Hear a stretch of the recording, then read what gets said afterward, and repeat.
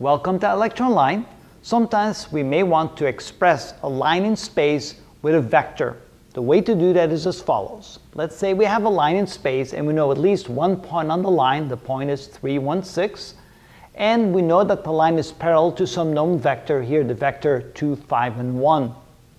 How do you write then an equation in the form of a vector to describe that particular line? Well, since we know that the line passes through that point and is parallel to the vector, as indicated there, we can then say that the vector from the point that we know to some other arbitrary point on the line called xyz, the vector a can be written as follows. a, which we now know is going to be parallel to the vector v, can be written as some constant, some parameter, times the vector v, which means that a can now be written as t times the vector 2i plus 5j plus 1k, which means that the vector a can be written as 2t in the i direction plus 5t in the j direction plus 1t in the k direction.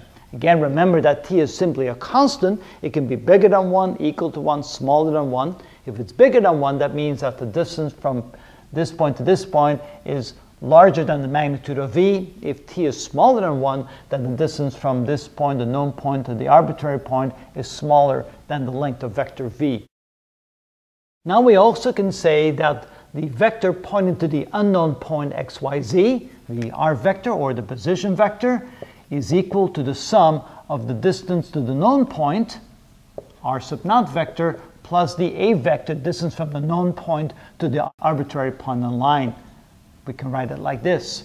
And since r sub naught is a known vector because we know the position of that point, we can then say that the r vector is equal to 3i plus 1j plus 6k. And then we add that to the a vector, which we can define like this with the parameter t relative to vector v. We can write this as 2t in the i direction plus 5t in the j direction plus 1t in the k direction.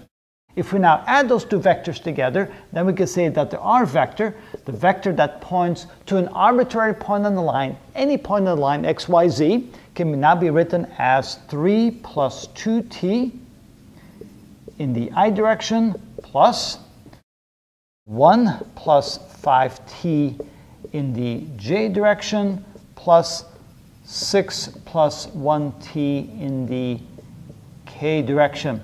And this then would be how we express that line in space using a vector notation and using the parameter t, which relates the direction of the line to the direction of the known vector, knowing that the line is parallel to the vector. And of course, you have to know at least one point on the line.